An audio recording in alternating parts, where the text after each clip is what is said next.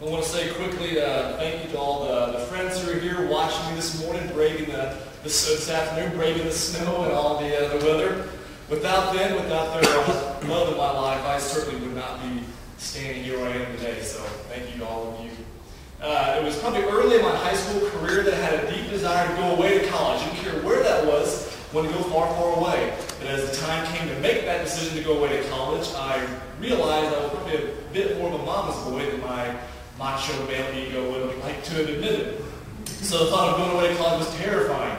Uh, and I started at Bible college here in Louisville, Kentucky. After two years, ended up transferring Oral Roberts in Tulsa, Oklahoma, which is about 700 miles from the Louisville area. That's pretty far from home for a mama's boy.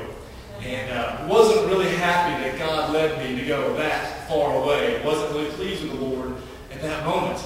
But I couldn't escape this fact. I just knew that I knew that I knew where God wanted me. And as I went through the first couple of months there and all the, the, the struggles and adjustments being away from home for the first time, I was mad at God. I had questions. And I had plenty of doubts. And that's my story, but I would imagine many of us at many times have our doubts in this journey of faith. As where God takes us and how He moves and leads us. Questions of, do you, do you really know what you're doing? Is this really the vision? A lot of questions. We are not alone in those doubts. The passage my father read always takes place after Jesus' resurrection, and we see doubts even in disciples. The first part there that Dad read, uh, verse 19 tells us that on the first day of the week, the disciples were gathered in a room. That would imply this is a Sunday that is here. What's happened before the verse my dad read is we see a woman named Mary Magdalene, and we see the Apostle Peter and a disciple who remains nameless. They go and see the empty tomb. Jesus is risen, he's gone. And later on, Jesus will actually come to Mary Magdalene and they have this encounter. And they talk. And so the scripture implies it's later that same day that Jesus appears to the rest of the disciples. He comes in, what the author says, the room with the doors that are shut. Kind of give us the implication that the disciples are a bit scared, a little bit nervous. Otherwise, why would the doors be shut? Why would John give us that piece of information? They're a little bit afraid. And Jesus appears in it, it says in verse 19. I would imagine they're probably very startled to see Jesus just appear in a room with doors that are shut. And they're very startled. Jesus comes in, and his first words to them are, Peace be with you. What beautiful words the disciples hear at this point. I'm sure the disciples are nervous and scared of the sudden appearance of a man in a room where the doors are shut. That's got to be one thing. But I wonder how the disciples feel inside right now. After Jesus' arrest, they really haven't handled the situation in a stellar kind of way. We see Peter's denial of Christ. We see the disciples scattering the wind as Jesus was arrested in the garden. Now they're in a room locked, scared of what if the Jewish authorities come here? And Jesus says, Peace be with you. What beautiful words to hear from Christ at that moment. Reassuring them in this time.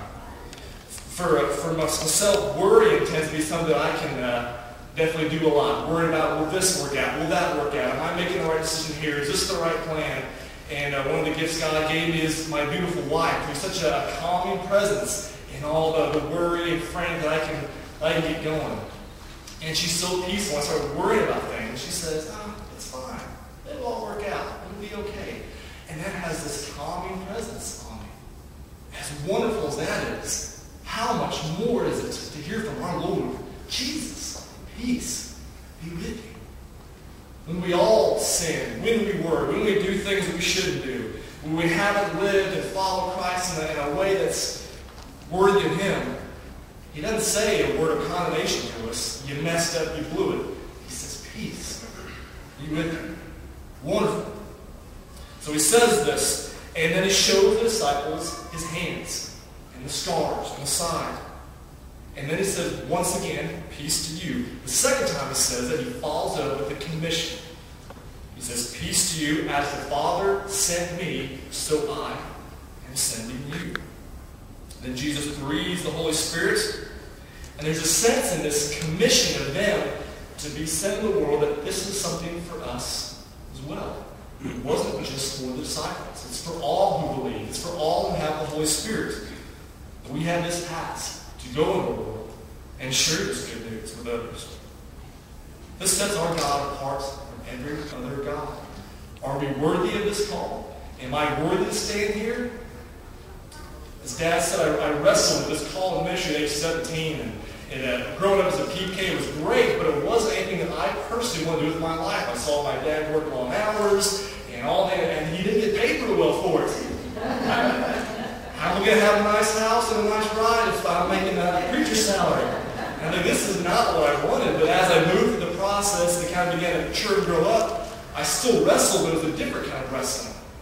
The pressure, the responsibility of being a spiritual leader over a group of people. And I know myself.